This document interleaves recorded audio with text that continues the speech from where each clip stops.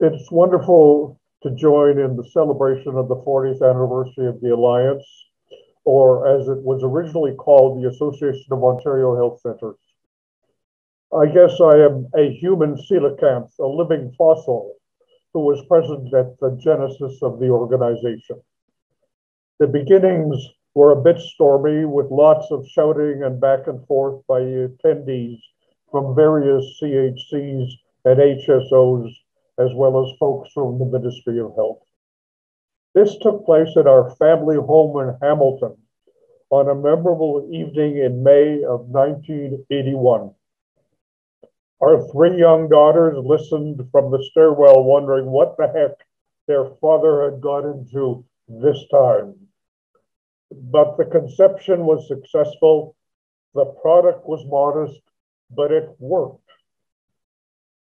It obviously has thrived, and you represent the achievement of the dreams and aspirations of the founders of that evening on the foundational meeting that took place the following day.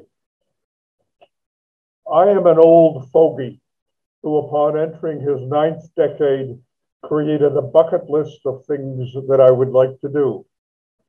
One of the things was to find out what happened to the association.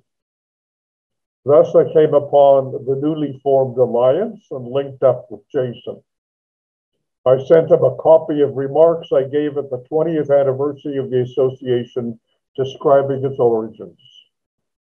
I won't go into the details, but you are welcome to publish them for the record. I wish to recommend, as I have mentioned to Jason, that you locate the original document related to the primary care task force chaired by Dr. Fraser Mustard, which was adopted by the provincial government of the day and legitimized community health centers, which heretofore had been considered experimental, subject to the whims of bureaucrats and politicians no longer. As of that time, CHCs became an established part of the system.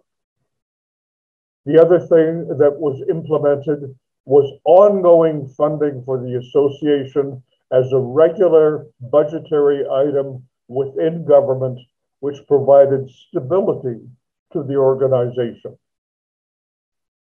For me personally, as the figurative fossil from those days. It is a personal thrill to see our dreams and aspirations fulfilled through your work and achievements, which are literally changing the system. I want to personally thank you for all of your efforts.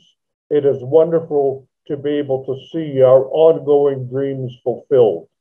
Congratulations on your manifold achievements, and thank you for the privilege of allowing me to join this celebration. Thank you.